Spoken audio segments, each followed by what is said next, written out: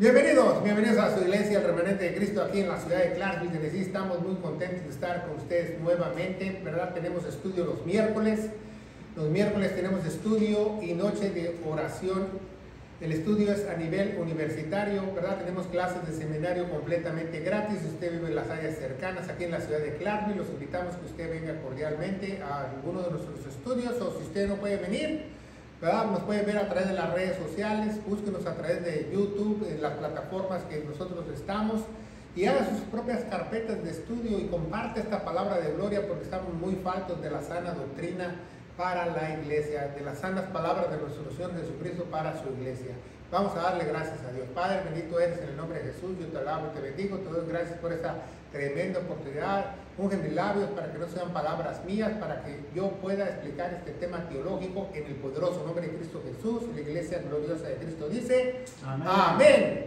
Hoy tenemos un tema muy importante. La continuación es el tercer capítulo de la epístola de los Primera de Corintios, ¿verdad? Tenemos ya las carpetas de Romanos, Corintios, ¿verdad? Y otras carpetas, ¿verdad? Este, Filemón, Juan, Pedro, este, Jacobo, Santiago, y estamos este, estudiándolas diligentemente, ya tenemos algunos programas también de Apocalipsis, búsquenos en las carpetas, ¿verdad? Pero si usted no está viendo, para que usted entienda esta, este mensaje, esta carpeta, también vea 1 Corintios 15 del 1 al 20, ¿verdad? Y del 20 al 38 es el segundo eh, episodio, el segundo capítulo, y hoy vamos a ver del 38 al 58, porque él es tan largo este capítulo? Porque este es el capítulo más importante para la iglesia.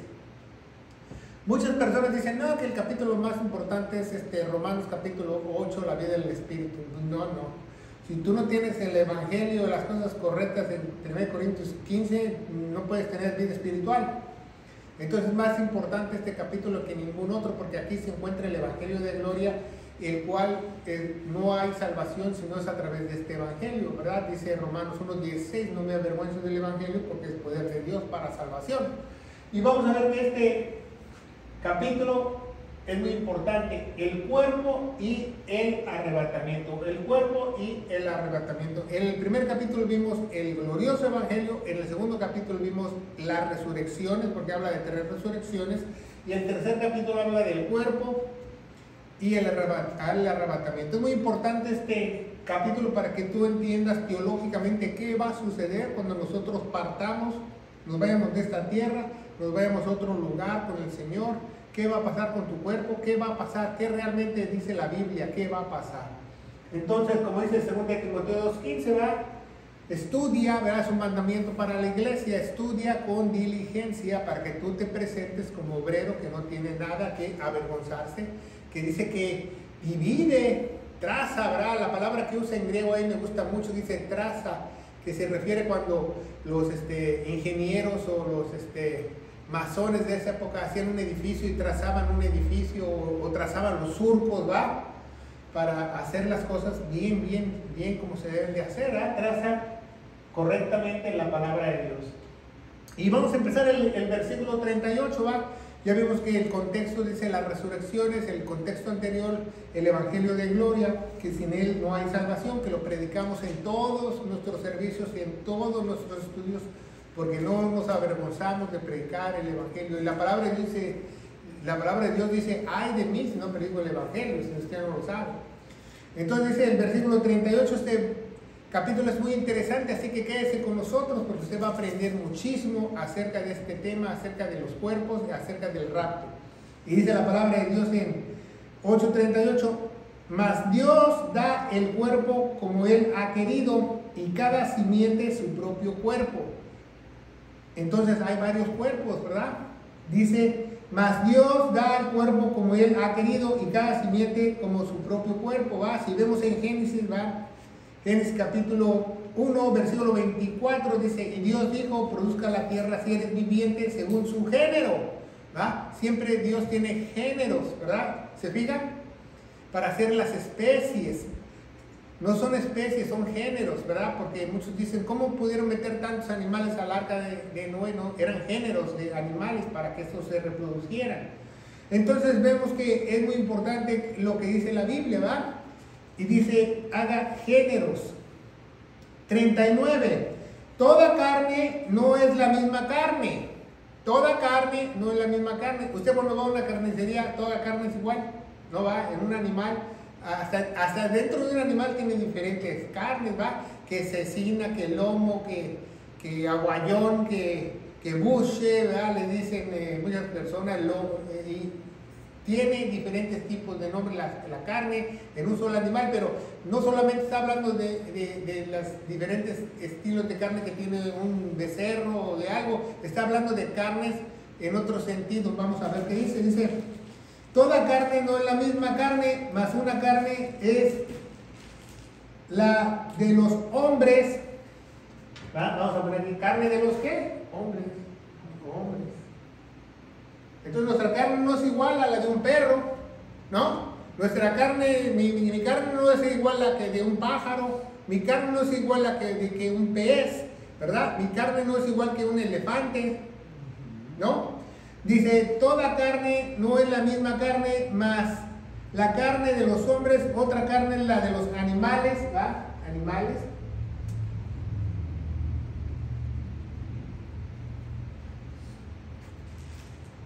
Otra carne es la de los peces. Y otra, otra es la de las aves, ¿va? Los pajaritos, aves, ¿se fijan? Dice muy bien. ¿Sabía que los hombres y los animales salieron de dónde? De la tierra. ¿Y sabía que los peces y las aves salieron del agua? ¿Sabía eso? Bueno, vamos a ver Génesis, tenemos un este, estudio relámpago que dice dónde salieron las aves. Lo pueden buscar en YouTube. Vamos a ver este, Génesis 1.21. Génesis 1.21 nos dice la palabra de Dios. Y Dios crió las grandes ballenas y toda criatura viva que se mueve en las aguas y produjeron según su género y toda ave alada según su género. Y vio Dios que era bueno. Dios sacó las aves y los peces del agua. Como ven. Y los hombres y los animales, ¿de dónde, de salió el hombre? Del polvo. ¿Se fija? De la tierra. Entonces vemos cómo, cómo no es la misma carne, no es la misma carne, dicen que en 1 Corintios tenemos que aprenderlo. Toda carne es diferente. Pero ese es un gran versículo, el versículo 39 de Corintios 15 es uno de los más grandes versículos para refutar a toda persona evolución, evolucionalista. Que diga que nacimos del Big Bang, que nacimos del mono, que, que, que nacemos, que, que, el hombre viene de un renacuajo, de dos animales. ¿Qué dice la Biblia? Que toda carne es diferente. Si toda carne es diferente, entonces ¿cómo vamos a evolucionar? No, eso, eso refuta a todos los evolucionalistas. ¿Se fijan? Entonces es muy importante ese versículo 39 si alguien te dice que yo creo en la evolución. Yo creo en eso. Bueno, entonces, ¿por qué dice en 1 Corintios 15, 39 que todas las carnes son diferentes? Si evolucionamos, ¿verdad? Yo, a, veces, a, veces a lo mejor vuelo yo como mono, pero mi carne no es de mono. Aunque digan que venimos del mono. ¿Se fija? Entonces vemos que es muy importante aprender eso, que podemos refutar a cualquier persona que diga que es evolucionalista, que esto, que lo otro, que todas las carnes son, vienen de un lugar diferente. Las bestias y los animales de la tierra y las aves y los peces del agua. Es impresionante que tú digas que todos los pájaros vienen del agua, imagínense. Yo los creo del agua. Así dice la Biblia y yo lo creo, ¿va? Entonces vemos que es muy importante y vamos a ver el versículo 40. Hay cuerpos celestiales y cuerpos terrestres, ¿va? Aquí hay, hay cuerpos ¿qué? celestiales, ¿va? ¿Y aquí hay qué? ¿Cuerpos qué? Terrestres, terrestres.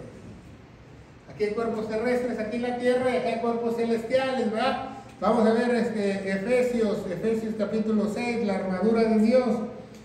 Dice, porque nuestra, Efesios 6, 12, porque no tenemos lucha contra sangre ni carne, sino contra principados, potestades, gobernadores, y huestes espirituales, todos esos son cuerpos ¿qué? Celestiales. ¿Se fijan? Los ángeles son cuerpos ¿qué? Celestiales. Cuando Cristo resucitó, Él ya resucitó en un cuerpo ¿qué? Celestial. ¿Por qué? Porque Él se fue con su cuerpo al cielo. ¿Verdad? Y no puede haber un cuerpo terrenal en el cielo. Entonces cuando Cristo resucita, su cuerpo fue transformado en cuerpo celestial. ¿Se fijan? ¿Se acuerdan cuando Tomás vino y Tomás este, dice, no, hasta no ver, no creer? Dice, Tomás, a ver, mete los dedos aquí. Tomás, mete los dedos aquí. Y no había sangre. Mete los dedos al costado. No había sangre. Ah, tenía otra clase de cuerpo el Señor, ¿va? Tenía otro cuerpo, y lo vamos a ver a través de la, de la palabra de Dios, qué clase de cuerpo tenía. ¿Por qué? Porque nosotros somos hechos en tres partes, ¿verdad? En tres partes. Nosotros tenemos este, un alma. ¿Por qué el alma? Porque el alma es lo que está en nuestra sangre, ¿verdad? Pero ¿qué es lo, lo más importante de una persona? Es su espíritu y su cuerpo. Esas tres partes nosotros somos formados, espíritu, alma y cuerpo. Así nos formó Dios a su imagen. Dice, hagamos al hombre, hagamos al hombre a nuestra semejanza, ¿verdad? Pero perdimos esa semejanza porque pecamos y se murió el espíritu, ¿se acuerdan? Entonces, cuando usted ve a una persona, siempre cuando, cuando la persona habla, fíjese muy bien, habla así. Mi, cuerpo, mi alma mi espíritu. Mi cuerpo, mi alma, mi espíritu. ¿Por qué dice el cuerpo primero? Porque es lo primero que ve. ¿Ah?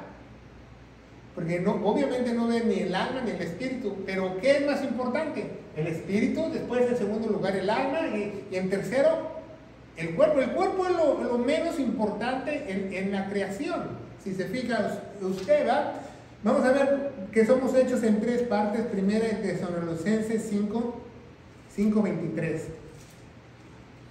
Somos hechos a semejanza de Dios al principio. Dice 5.23. Y el Dios de paz os santifique enteramente. Enteramente, ¿verdad? Enteramente. Enteramente. El Dios de paz nos santifique enteramente en todo vuestro espíritu, alma y cuerpo ¿Cómo el apóstol Pablo, a través del Espíritu Santo, eh, lo escribe correctamente? ¿No? Espíritu, alma y cuerpo. El Espíritu Pablo no dice, es su cuerpo, su alma y su espíritu. No. Primero, ¿qué es lo más importante? Espíritu, alma y cuerpo. ¿Y las personas qué? ¿Qué, qué, qué? ¿De qué se preocupan más? Del cuerpo. ¿Por qué te preocupas más de tu cuerpo si es lo menos importante? El alma es tu intelecto. También tu, aprendizaje, tu educación. Mucha gente no se preocupa mucho por eso y mucho menos por el espíritu. Por ejemplo, una persona rica se enferma. Muchas personas ricas se preocupan mucho por la, por la educación. Que ellos que tengan mucha educación, que las mejores escuelas, pero muchas personas se enferman y te voy a llevar al mejor hospital, te voy a llevar este, al mejor hospital que hay aquí este, en los Estados Unidos, que a Houston, que este, al Hospital de la Paz, es uno de los mejores hospitales aquí en los Estados Unidos, te voy a llevar a los mejores doctores, pero a la hora de ir a la iglesia, cualquier changarrito es bueno. Y eso es lo más importante. ¿Qué te pasa? Eso es lo más importante. Eso es lo que te va a dar eternidad. No, ni tu alma ni tu cuerpo te va a dar eternidad. Eso es lo que te va a dar eternidad, pero eso es muy importante que tú busques un lugar sano para aprender la palabra de Dios. Pero es lo más importante. Y somos a similitud de Dios, ¿va? ¿Quién es el Espíritu de Dios, va? El Espíritu Santo, ¿va? ¿Quién es el alma? El Padre, ¿va? ¿Y qué es el cuerpo? El Hijo que se sacrificó en la cruz del Calvario. La Trinidad, ¿se fijan?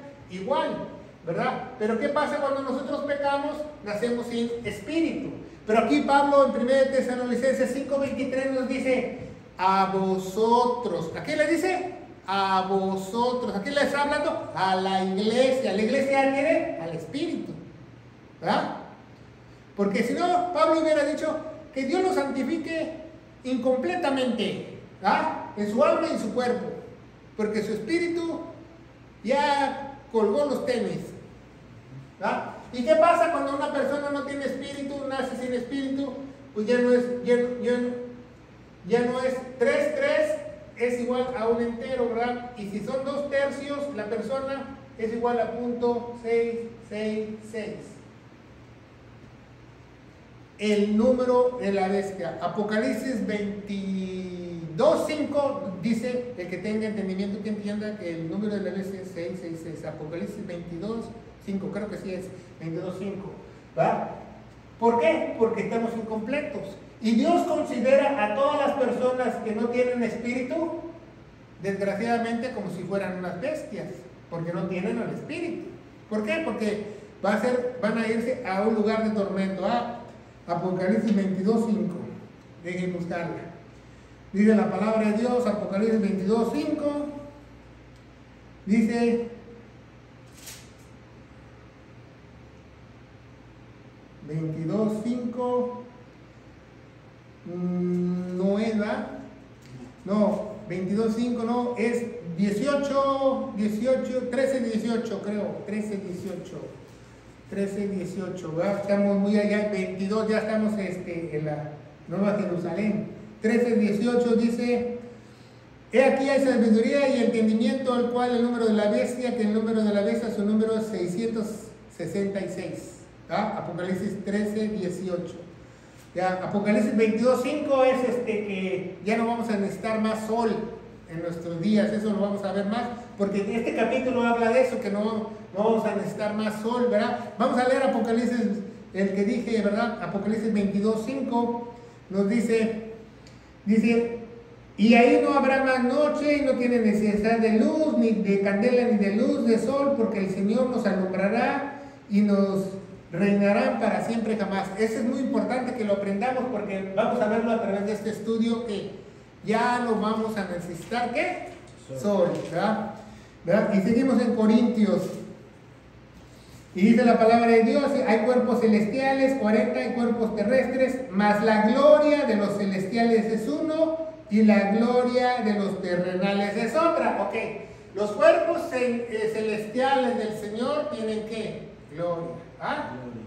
Por ejemplo, ¿quién? Los ángeles, los serafines, ¿verdad? Los serafines, este, eh, y el, otro, el otro, el, querubín. El, querubín, querubín y arcángel, ¿verdad? ¿Se fija? Todos estos tienen gloria, ¿no? Son del Señor. Y, pero ah, dice que también hay gloria terrenal. Aquí en el versículo dice, hay cuerpos celestiales, cuerpos terrenales, mas la gloria de los celestiales es uno y la gloria de los terrenales es otra. ¿Quién es la gloria terrenal? Aquí.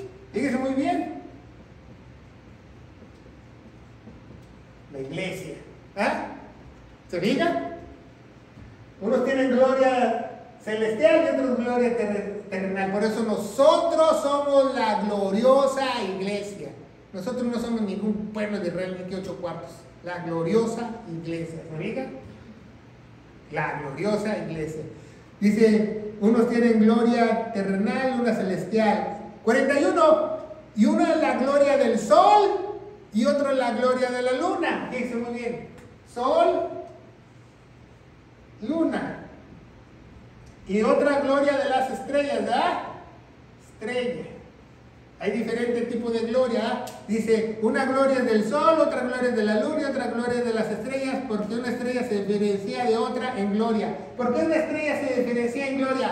Pongan mucha atención aquí en la pizarra. Porque hay arcángeles, ángeles, serafines y querubines. Se diferencian en gloria las estrellas. ¿Quién es el sol? El Señor. ¿Quién es la luna? La iglesia. ¿Por qué? Porque es la iglesia. Porque la iglesia es la luna, porque la luna en la noche refleja la luz de quién? Del sol. y la luz del Señor. ¿Se fija? ¿Y qué dice en Apocalipsis la que tenía mal al principio 22.5? Un día no vamos a necesitar más sol.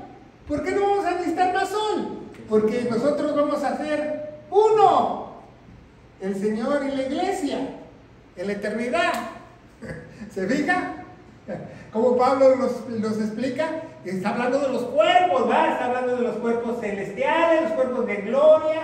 Aquí le faltó la G, los cuerpos celestes de gloria, la iglesia. Un día no vamos a necesitar sol, ¿por qué? Porque vamos a hacer uno, se fija, y la iglesia siempre se identifica como la luna porque refleja la gloria de Dios. Y él es el sol de la mañana, la estrella de la mañana, eh, Jesús es el sol. Se fija como la Biblia es muy hermosa, lo que nos dice el apóstol Pablo. Una es la gloria del sol, otra la gloria de la luna, otra la gloria de las estrellas. Y una estrella se diferencia de otra porque hay diferentes rangos de estrellas. Las estrellas, ¿quiénes son? Los hijos de Dios, los, ángeles. ¿Se fija? Arcángeles, querubines, serafines. 42, ¿cómo vamos avanzando en este estudio? Ah, ¿Qué tan importante es? ¿Cómo vamos aprendiendo muchas cosas, verdad? Entonces dice la palabra de Dios, dice, así también es la resurrección de los muertos, así también es la resurrección de los muertos, como los cuerpos celestiales, los cuerpos terrestres, los cuerpos de gloria, así también es la resurrección, ¿se diga? Así también es la resurrección de los muertos. Se siembra en corrupción, ¿por qué? Porque Cristo, Cristo tomó todos nuestros pecados, ¿ah? Pero cuando resucitó, ¿se diga? Salió limpio. Dice, se siembra en, se siembra la resurrección de los muertos se siembra con corrupción y se, se, levantará en incorrupción. 43. Se siembra en deshonra y se levantará en gloria. Se, se, siembra en flaqueza y se resucitará en poder. Así igual la iglesia. ¿Por qué? Porque la iglesia aquí nosotros, aquí nosotros Aquí en la iglesia todavía tenemos que pecado, ¿verdad? Todavía somos pecadores. Dicen que no hay ni uno bueno ni uno el otro. No hay pecado enseñoreado. Pero mientras vivamos en este cuerpo, es el apóstol Pablo, vamos a tener esa tendencia, ¿verdad? Entonces fíjense muy bien lo que dice. Por eso dice así también la resurrección de los muertos siembra corrupción, se levanta en corrupción, la siembra de deshonra se levantará en gloria se siembra flaqueza y se resucitará en poder. Romanos 1.16, no me avergüenzo del Evangelio porque es que poder de Dios para salvación.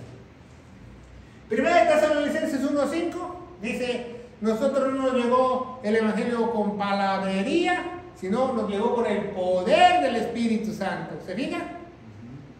Porque es la palabra que tiene poder, poder, ¿verdad? Se fija, poder, poder.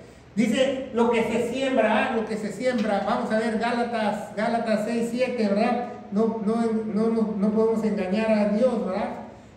Gálatas 6, 7 dice, no os engañéis, Dios no puede ser burlado, porque lo que el hombre sembrase, eso también se dará. Entonces nosotros somos redimidos no por nuestra justicia, sino por la justicia de Dios, que Él nos salvó, ¿verdad? Él nos salvó la justicia de Dios. Yo no soy justo, pero el justo de justos murió por mí y esa justicia se adjudica a mí y eso se llama, teológicamente se llama qué? Justificación. Justificación es que ya pagó por mis pecados.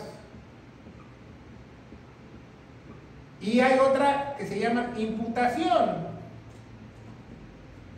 Imputación es toda la justicia que Dios, cuando caminó aquí por 30 años y cumplió la ley, se me imputa a mí al momento que yo resucito. ¿Se fijan? Entonces hay dos doctrinas, justificación, imputación y de salvación. Tres doctrinas aquí en este mismo capítulo. Justificación, imputación de justicia y salvación. ¿Se fijan? Entonces vemos cómo es la palabra de Dios, ¿verdad? Y dice el cuerpo corrupto, ¿verdad? El cuerpo corrupto. ¿Por qué tenemos un cuerpo corrupto, verdad? Porque un cuerpo, un cuerpo se echa a perder. ¿Sabía que en los países donde nosotros venimos, en los países pobres, en África, en muchos países del mundo, una persona muere? O por ejemplo aquí en los Estados Unidos, en la época del oeste, en los años 1800, una persona moría y, y en la noche lo enterraban. O al otro día lo enterraban no, no podía pasar un, cuerpo de qué? De 72 horas. ¿Cuántos son 72 horas? Tres días. ¿Por qué? Porque el cuerpo no solamente se pudrefacte, se hincha, hiere, sino se revienta y, si tú lo tocas te contaminas. Si, no sabes, si tú no sabes, tú tocas un cuerpo muerto que tenga más de 72 horas y, la sangre de ese cuerpo está dentro de él, tú te contaminas y te, puedes tú hasta morir. Por eso uno, uno, de los castigos de los romanos era cargar el muerto, le ponían una persona cargada, eh, amarrada a una persona en la espalda y no duraba ni tres días y si la persona se moría por cargar al muerto. El segundo tipo de muerte era la crucifixión, el primer tipo de castigo era cargar al muerto, que eran los asesinos. Entonces, 72 horas, ¿va? ¿Qué pasa cuando una persona muere? ¿Qué pasa cuando una persona muere? Le tienen que quitar la sangre. ¿Sabía eso? Usted lleva a su familiar, a su relativo, a su persona amada a la, casa funeraria. Yo trabajaba en una casa funeraria hace muchos años y lo primero que hacen es que sacan la sangre. Porque si no te sacan la sangre, te empiezas a podrir. ¿Sabía eso? Porque la Levítico 17, 11 dice que la vida de la carne está en la sangre. Entonces, si una persona no le sacan la sangre, cuando yo fui a la guerra hace muchos años, yo fui a la guerra Bosnia, Somalia, otros conflictos, a la, a la guerra del Golfo, yo vi cadáveres que ya tenían 4, 5, 6, 7 días que se inflan así, se hinchan porque produce la sangre, se pudre produce grasa y se les abre la carne, se les abren, la, se les abren las partes. Es terrible porque es, un cuerpo corrupto. Es un tenemos un cuerpo corrupto. Usted no se bañe por una semana y va a ver si usted huele a margaritas. Va a oler a chivo correteado. ¿Ah? No, no va a oler muy bonito constantemente el ser humano se tiene que lavar los dientes, que se, quitarse la, la mugre de las uñas, que peinarse, que rasurarse, que bañarse, que estarse echarse el desodorante, que talquito, que cremita, porque si no hiere. ¿Y, por qué? Porque tenemos un cuerpo corrupto. Y entre más envejecemos es peor. ¿Por, ¿Por qué? Porque Dios nos dio ese cuerpo corrupto. Y las personas que están en pecado se corrompen más. Por eso una persona que usted ve que, que es una drogadicto, alcohólico, prostituta, envejece mucho más rápido que otra persona. ¿Sabía eso? ¿Sabía que el promedio de, vida de un sodomita o de un homosexual o de una lesbiana, eh, de un, promedio de vida, si esta persona comenzó a hacer sus actos este, eh, ilícitos desde su juventud, no duran ni 30 años? ¿Muere? ¿Sabía eso? yo estoy hablando del 80-90% de esas personas. ¿Por qué? Porque por el pecado. Entonces es muy importante que aprendamos eso, que vivimos en un cuerpo corrupto y, entre más estemos en pecado, más nos deterioramos y más tenemos a caer en el pecado, pero nosotros ya hemos sido redimidos con la sangre preciosa de Cristo, Dios nos está santificando y Dios nos está guiando por un camino nuevo y bueno y nos está limpiando todas esas impurezas porque Él es nuestro alfarero, ¿verdad? Y dice la palabra de Dios, un cuerpo corrupto, ¿verdad? Entonces, este, es muy feo, ¿verdad? Que esto, que lo que pasa en un cuerpo. Entonces, ¿qué pasa cuando, cuando vamos a morir? Vamos a verlo teológicamente, ¿verdad? Porque es muy importante que aprendamos esto, ¿verdad? Nos quedamos en el versículo 44, ¿verdad? El que se siembra el cuerpo natural, no dice animal, ¿verdad? ¿Quién sabe quién tradujo esa Biblia que le pusieron que el que siembra un cuerpo animal ha de haber sido un animal? ¿Verdad? Porque le cambió la Biblia, dice, el que siembra un cuerpo natural resucitará en un cuerpo espiritual. Hay un cuerpo natural y hay un cuerpo espiritual. Hay un cuerpo natural y un cuerpo espiritual. ¿Sabía que en la Reina Valera 60 le pusieron un animal ahí? Los que tradujeron ahí, válgame Dios. Eran evolucionistas. ¿Eran evolucionistas o e, era un animal que, lo que tradujo eso porque no tiene temor a Dios? Porque es un animal, porque no tiene el Espíritu Santo. ¿va? si hubiera tenido el Espíritu Santo, hubiera sido guiado a toda verdad. No, es que yo quiera insultar a, alguien, ¿va? es lo que dice la Biblia. Entonces pongan mucha atención, dice, el que siembra el cuerpo natural resucitará un cuerpo espiritual. Entonces nosotros cuando nosotros resucitemos, ¿qué pasa cuando nosotros eh, partimos de aquí y nuestro cuerpo queda en un ataúd y nuestra alma se eleva con el espíritu? Entonces, cuando alguien muere, el, espíritu sale hacia arriba y sale su, su alma ¿Y el Espíritu Santo que está con él? ¿Por qué? Porque el Espíritu Santo ya es una posición adquirida, se le llama, ¿verdad? 1 Corintios capítulo 6. Vamos a ver, 1 Corintios capítulo 6. Nos dice la palabra de Dios, versículos 19 y 20, dice, ¿no sabéis que vuestro cuerpo es templo del Espíritu Santo, el cual está en vosotros, el cual tenéis de Dios, el cual no sois vuestros? O sea, el, el cuerpo no es de nosotros pero el 20 dice, porque comprados sois por precio, ¿va? Por, a gran precio de sangre. Glorificar puede a Dios en vuestro cuerpo y vuestro espíritu, los cuales son de Dios. En vuestro cuerpo y vuestro espíritu, los cuales son de Dios. Por eso es la posición adquirida, porque Dios ya nos dio su espíritu. El espíritu de Dios ya está amalgado a nosotros. 1 Corintios capítulo 6, el 19 y el 20. 1 Corintios capítulo 6, 19 y 20. Acuérdense, se llama la posición adquirida. ¿va? El cuerpo y el Espíritu son de Dios, pero también son míos, por eso los tengo que cuidar. Porque yo y Dios ya somos uno, ya somos amalgados, ya no nos podemos separar. ¿Se fijan? Ya no nos podemos separar. Entonces cuando yo parto o alguien parte, se muere, el espíritu eleva el alma. ¿Qué pasa si el alma no tiene el espíritu? Para el infierno. ¿Va? Y ahí también Dios le da un cuerpo para que lo atormenten, ¿verdad? ¿Y qué pasa cuando este, ah, llegamos al cielo? ¿Vamos a llegar como Gasparín? No, ahí nos van a dar un cuerpo, ¿ah? Vamos a ver este, 2 Corintios 5.2. Todavía no estudiamos 2 Corintios, 2 Corintios 5.2. Una habitación celestial o, una morada celestial, 2 Corintios 5.2. 2 Corintios Según en Corintios 5.2, dice, y porque también gemimos deseando ardientemente vestidos de aquella nuestra habitación que es el cielo. Aquí cuando lleguemos al cielo, Dios nos va a dar una, una habitación celestial. Habitación celestial. Así se llama, este es un cuerpo temporal. ¿Verdad? ¿Hasta cuándo? Hasta el día, hasta el día de Cristo. ¿Cuándo es el día del Cristo? El rapto. Entonces, si tú mueres o tus antepasados murieron o tus amigos murieron que eran cristianos, cuando subieron al cielo les dieron un cuerpo temporal que se llama habitación celestial o casa celestial. Hasta que venga el día de Cristo. ¿Cuándo es el día de Cristo? El rapto. Entonces, cuando venga el día de Cristo, por eso dice, los muertos resucitarán primero, porque estos que tienen un cuerpo temporal, les van a dar un cuerpo permanente glorificado.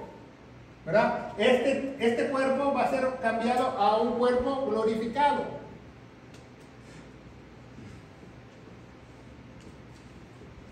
Semejante al Señor. ¿Cuándo? El día del Señor, el día de Cristo, perdón. Aquí es el día de Cristo, día de Cristo el rapto, ¿verdad? Que vamos a ser transformados en las nubes. Es muy importante que aprendamos. Se fija cómo la palabra de Dios nos dice que nos van a dar algo ¿va? para que nuestro cuerpo no esté como Gasparín. Porque si vemos Mateo 1.18, ¿va? la Virgen o Jesús fue concebido con la sangre del Padre y nació en una Virgen y él cuando muere por eso se puede llevar su sangre, porque su sangre es pura. Pero nosotros no nos podemos llevar nuestra sangre ni nuestro cuerpo, porque nuestra sangre y nuestro cuerpo es corrupto. Nuestra sangre tiene pecado. Aquí viene lo bueno. Aquí usted va a aprender mucho. ¿ah? Vamos a poner aquí la imputación más abajo.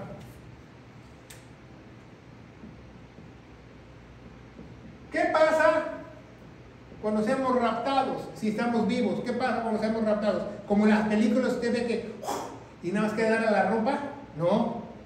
Si nosotros somos raptados, va a quedar, nuestro cuerpo se va a desintegrar, pero la sangre va a quedar en el suelo. Entonces, toda la sangre va a quedar así, en el suelo.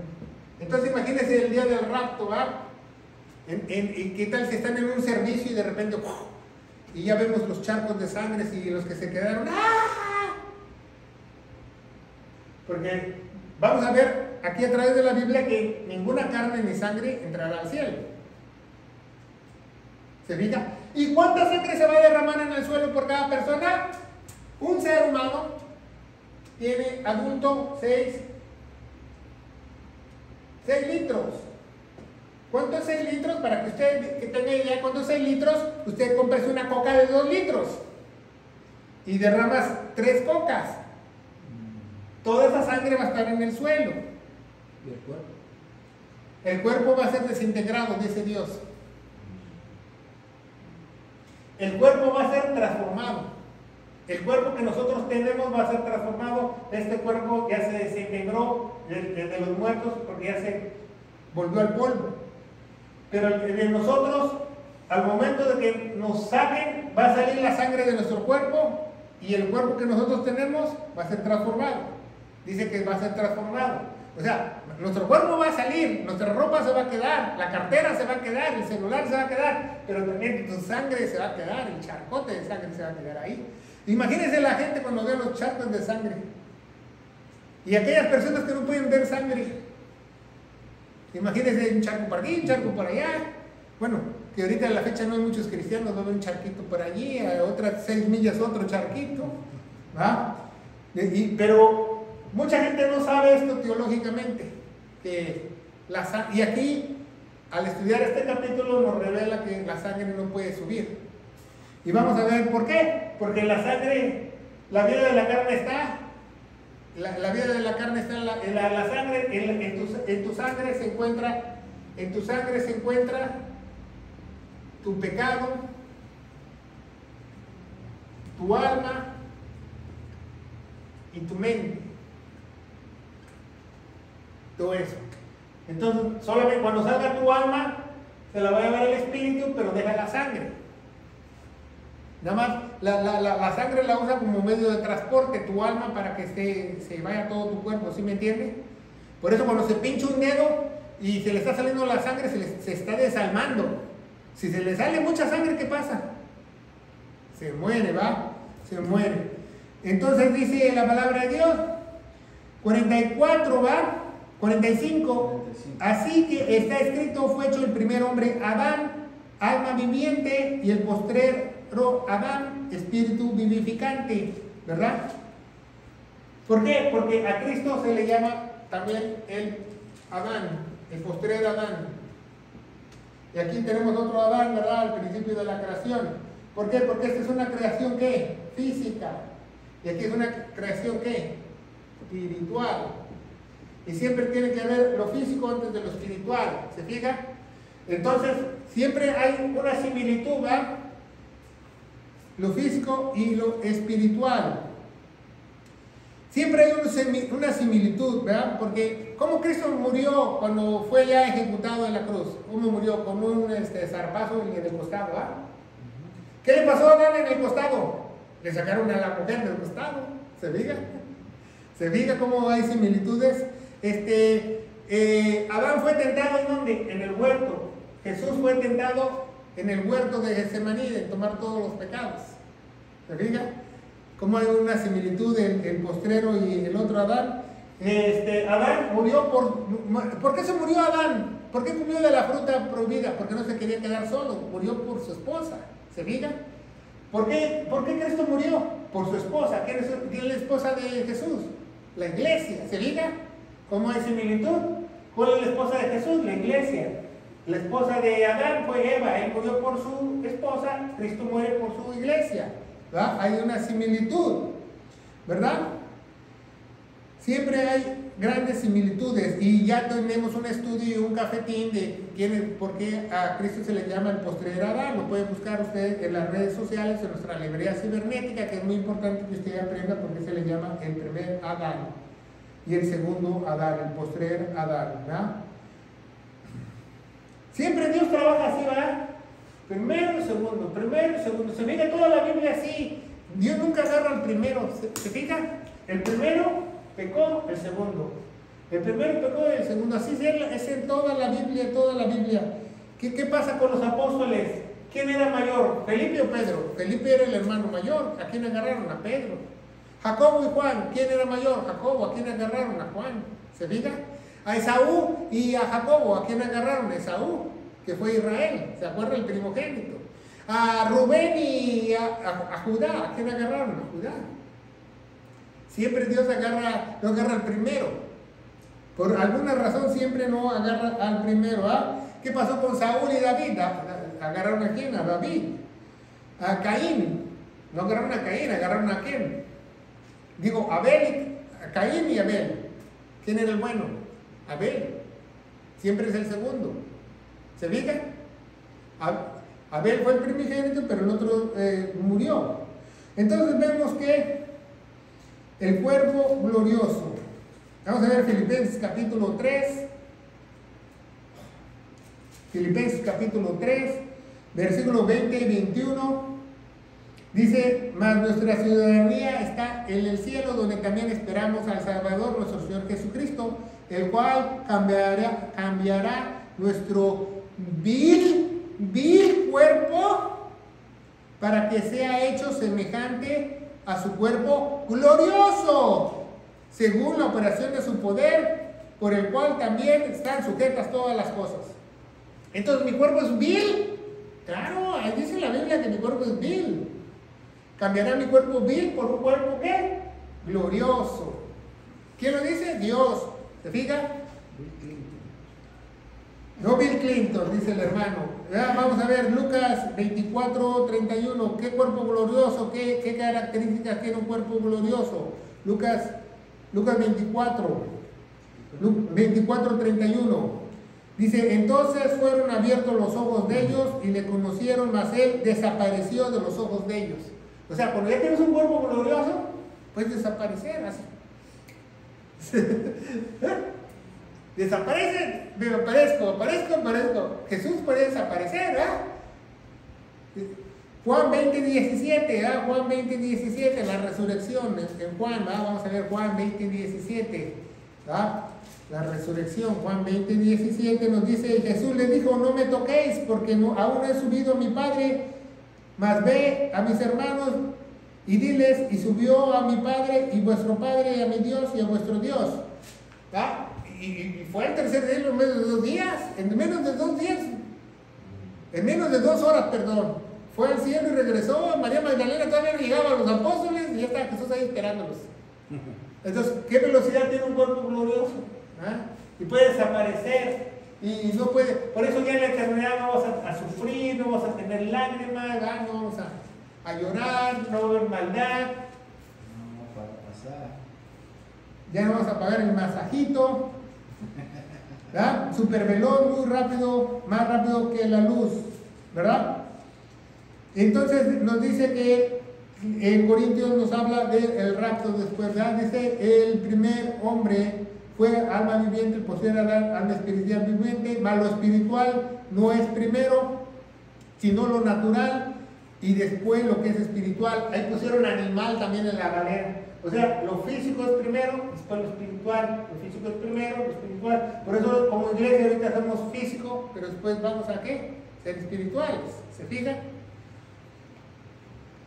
47, el primer hombre de la tierra es terreno, el seguro hombre, el Señor del cielo, vaya, lo vimos. 48, el cual, el terreno, tales también los terrenos, y los cuales también los celestiales, tales también son los celestiales, ¿va? No importa donde estés, importante es lo, el proceso de Dios, ¿va? Si es terrenal o celestial, terrenal o celestial, ¿se fija? En el 47 dice, 48, perdón, 49, así como hemos traído la imagen del terreno, traeremos también la imagen de los, del celestial. ¿verdad? ¿Qué, ¿Qué, quiere decir eso? Cuando nosotros somos raptados, por ejemplo, yo soy raptado y cuando lleguemos allá al cielo, pues le vamos a ver la cara a alguien y le vamos a decir, mira, el querubín de Clarksville tiene toda la cara. Bueno, ¿por qué? Porque se nos quedó la apariencia, quiere decir la apariencia, o sea, el cuerpo que nosotros tengamos en a la hora de raptarnos que será transformado así, en esa forma, en esa manera, ¿verdad? A una imagen celestial. 50, Empero os digo, hermanos, que la carne y la sangre no pueden heredar el reino de Dios, ni la corrupción hereda incorrupción. Por eso, cuando seamos arrancado, la sangre ¿dónde se va a quedar? En la tierra. En la tierra. Por eso va a quedar el charcote ahí de sangre. ¿Qué pasa cuando alguien sale de la tumba? ¿Ya no tiene qué? Ya, no, ya no tiene sangre. Ya no tiene sangre. Ya se le secó la sangre. ¿A poco que la sangre va a estar ahí? No, ya no tiene sangre. Entonces, con ese cuerpo que ha llevado arriba va a ser transformado también, ¿verdad? Entonces, es muy importante que veamos eso, ¿ah? El cuerpo temporal va a ver al, al cuerpo que estaba enterrado aquí y, y se va a intercambiar, ¿se fija? Y va a ser uno glorioso. Por eso, por eso ellos resucitarán primero. ¿Por qué van a resucitar primero ellos? Porque su cuerpo temporal tiene que ser cambiado a, a, su cuerpo que era antes y su cuerpo que era antes al cuerpo glorioso. ¿Se fija? ¿Se fija el proceso? Otra vez, otra vez, por los que no entendieron. ¿Por qué ellos resucitarán primero los muertos?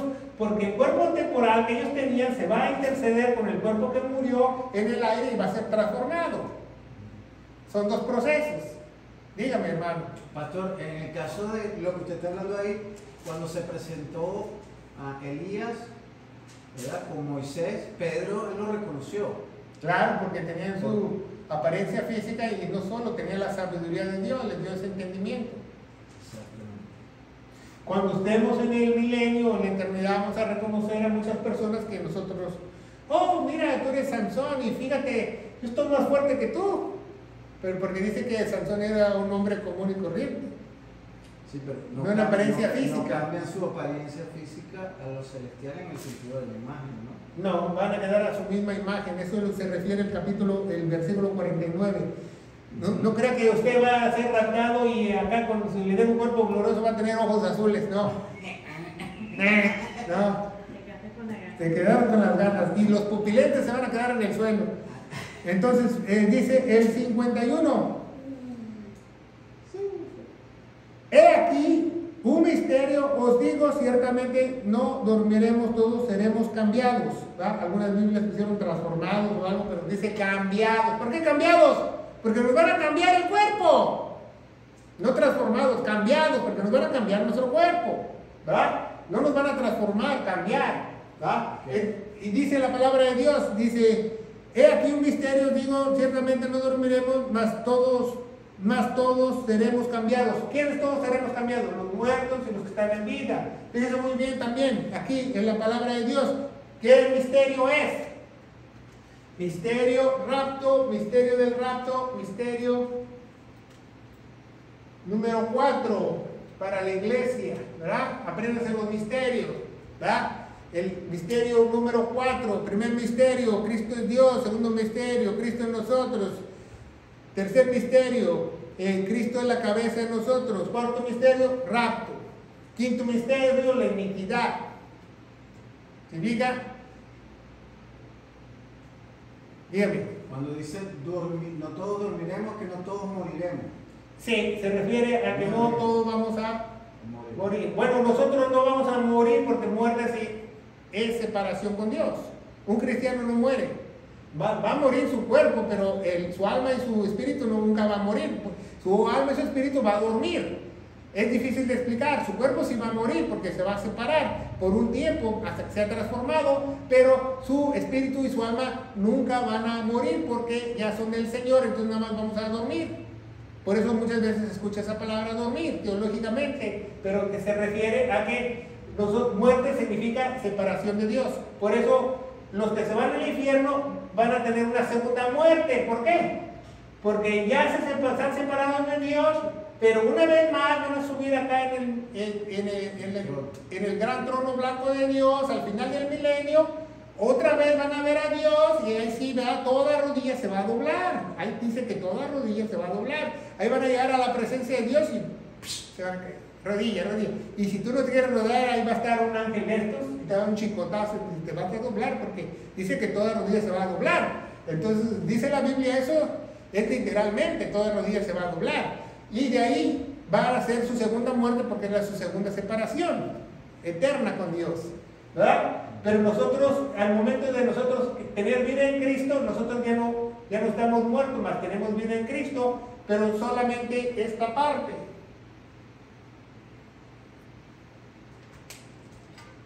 ¿Verdad? Cuando nosotros, si nos morimos hoy, mañana, nuestro cuerpo sí muere porque nos separamos, nos separamos del cuerpo. Porque este cuerpo de, todas maneras no lo quiere Dios. Estamos muertos, pues ya lo enterraron porque está muerto. Pero su alma y su espíritu duerme porque se está con el Señor. ¿Entiende? Ok, qué bueno. Dice aquí un misterio, os digo, todos no ciertamente no dormiremos, todos seremos cambiados en un momento, en un abrir y cerrar de ojos. Dice eh, en griego, en el blink of, the eyes. ¿Cuántas veces? Dice que una persona parpadea no sé cuántas veces por minuto.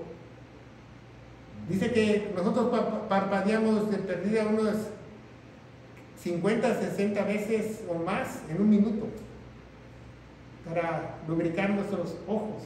Entonces, en una de esas, ya, ya va. Entonces, en un momento, en una brisa de ojos, a la trompeta final, que sonará la trompeta, los muertos serán resucitados incorruptibles y nosotros seremos cambiados. Primero los muertos y nosotros seremos cambiados. Ahorita vamos a ver en Tesalonicenses. Pero aquí dice algo muy importante, dice,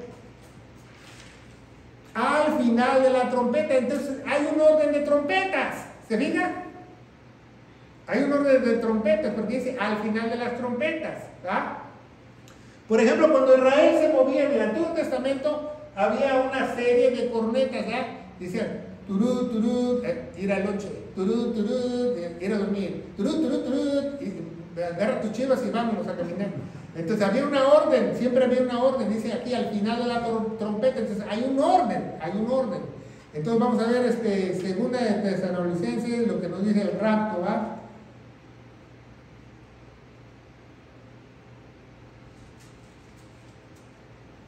Segunda, primera, perdón, Tesalonicenses capítulo 4. Capítulo 4. Dice, primera Tesalonicenses capítulo 4 del 13 en adelante dice, pero hermanos, no quiero que ignoréis acerca de los que duermen, acerca de los que duermen, no que están aquí dormidotes aquí, por qué dice Pablo, no ignoréis acerca de los que duermen? Ya, ya en 1 eh, Tesalonicenses 4:13. ¿Ya la tiene? Sí. Dice, no ignoréis de los que duermen. Pablo se refiere de los que están aquí en la tierra, abajo de la tierra, no. Pablo se refiere de los que aquí que tienen una habitación celestial, que en un cuerpo temporal dice, no ignoréis acerca de los que duermen para que no estristezcáis como otros que no tienen esperanza, pues si creemos que Jesús murió y resucitó, también traerá Dios con él a los que durmieron en Jesús. Traerán con él, o sea, que van a traer el cuerpo de ellos, porque ellos ya están con él, pero van a traer el cuerpo de ellos. A eso se refiere la Biblia. 15. Por lo cual os decimos estas palabras del Señor, que nosotros que vivimos y que habemos que, quedado hasta la venida del Señor, Pablo tenía el anhelo que el rapto iba a ser cuando él vivía, ¿verdad? No seremos delanteros de los que durmieron, ¿verdad? No seremos delanteros, ¿verdad? Porque ellos tienen que tener otro proceso más complicado que el de nosotros, ¿verdad? No dice los muertos resucitarán primero, dice no seremos delanteros de los que durmieron, porque el Señor mismo con clamor y con voz de arcángel y con trompeta de Dios descenderá, descenderá del cielo y los muertos en Cristo resucitarán primero. Después nosotros los que vivimos y los que quedamos juntamente con ellos seremos arrebatados en las nubes a recibir el Señor en el aire y estaremos siempre con el Señor. Por tanto, consolados los unos a los otros. Lo mismo que nos dice en Corintios. Primero van a hacer esto, después los que estemos en vida van a ser raptados, van a ser raptados. Entonces es muy importante que ponga atención a lo que vamos a hablar. Dice, porque, 53, porque es menester que todo esto corruptible sea vestido de incorrupción y de esto de mortal sea vestido de inmortalidad, que seamos transformados. Los que están muertos, los que están en vida, seamos transformados a un cuerpo glorioso, los que tenían un cuerpo temporal, su cuerpo se ve aquí en el aire con el Señor y también se ha transformado. Y cuando esto corruptible fuere vestido de incorrupción, esto mortal fuere vestido de inmortalidad, entonces cumplida la palabra está escrita, tragada en la muerte la victoria, ¿verdad? Entonces nunca mucha atención, dice al sonar de la trompeta. Entonces hay tres eventos. Muchas veces no sabemos, muchos teólogos dicen que estos eventos de las, que dice que al final de la trompeta se refiere a esto, ¿va? ¿Qué pasó? ¿Qué pasó, ¿Qué pasó aquí cuando Jesús murió? Las primicias. En las primicias, con ese no solo Jesús resucitó, sino algunas personas que estaban con Jesús, ¿verdad? Algunos santos del, del Antiguo Testamento que estaban enterrados en el cementerio de Jerusalén, dice la Biblia que tembló y que salieron, ¿verdad? ¿Se acuerdan? Salieron. Entonces muchos teólogos dicen que al final de la trompeta, o sea que cuando ellos serán transformados primero, dicen que estos actualmente estas personas van a hacer lo mismo que estas personas, van a salir los muertos a la superficie para ser antes de ser raptados también. No se sabe por cuántos tiempos, no va a ser por un día, por dos días por tres días, quizás sean una hora, dos horas, tres horas, pero van a salir. ¿Se fija? Es muy importante que aprendamos. Por eso la Biblia dice, al final de la trompeta, que sonará la trompeta, los muertos serán resucitados incorruptibles y seremos cambiados. Es muy importante que aprendamos eso, ¿va? Eso es muy importante aprender porque mucha gente no sabe ese concepto, ¿verdad? Que al igual que, así también hermano, déjenme decir, entonces que así como salieron aquí las primicias, se acuerda que Jesús murió y resucitó. Aquí cuando seamos raptados, estos que estaban muertos van a salir, van a salir de la tierra a la superficie. ¿Se fijan? No se sabe por cuánto tiempo, va, ya dije, va por una hora, dos horas, tres horas, pero estos que estaban muertos van a salir y luego también van a ser raptados. Por eso ellos resucitarán primero. O sea que vamos a empezar nosotros a escuchar noticias. Se abrieron las tumbas y esto, y a ver, bueno, bueno, ya hagas eso, ya está listo, ya, ya, nos vamos, porque no se sabe cuánto tiempo, si van a ser 30 minutos, una hora, dos horas, tres horas, pero no puede ser tres días porque va a ser un abrir y cerrar de ojos, va a ser rápido. Al decir abrir y cerrar de ojos se refiere que va a ser un tiempo, periodo muy corto, como estos santos va del Antiguo Testamento que salieron cuando Jesús murió, no dice la Biblia cuánto tiempo, pero también fue un periodo muy rápido también. Aquí también va a ser un periodo muy rápido, estos muertos salgan para ser raptados. Porque no le va a dar chance a la humanidad y a las otras personas. O sea, va a ser rápido.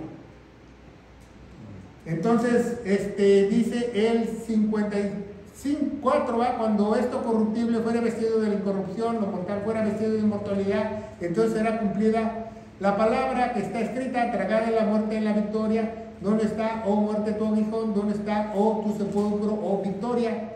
Porque nosotros, dice Romanos, somos más que vencedores en Cristo Jesús. En Cristo Jesús. ¿verdad?